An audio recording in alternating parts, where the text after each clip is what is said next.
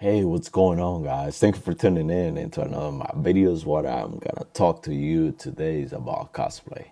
So this is the Saiyan armor I've been working on since last year, and sadly, still not done. I was supposed to take it to New York Comic Con, however, I didn't get to finish it. As you can see, the paint is still not 100% here. Here, it's a lot more I gotta do. Paint, gotta sand, and I gotta finish it. You can see that everything is not even the way I want it. Sadly, I couldn't take it to New York Comic Con. And, you know, I just want to give you an update about the Saiyan armor. It's just actually 75% done. We still gotta retouch the paint.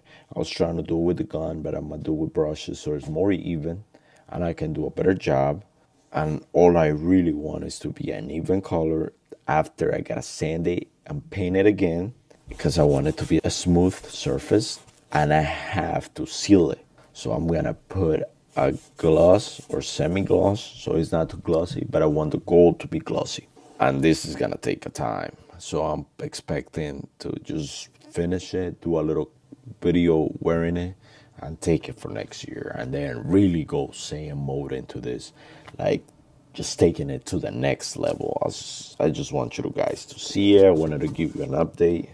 Let me know what you guys think. It's been a working process, you know, work and everything hasn't let me finish it. It's a lot of things I want to do, and I still got to finish. And we're going to start cosplay as hard as we can nowadays. I'm going to get back and I'm going to bring a lot more projects. So thank you for sticking with me. Thank you for always tuning in.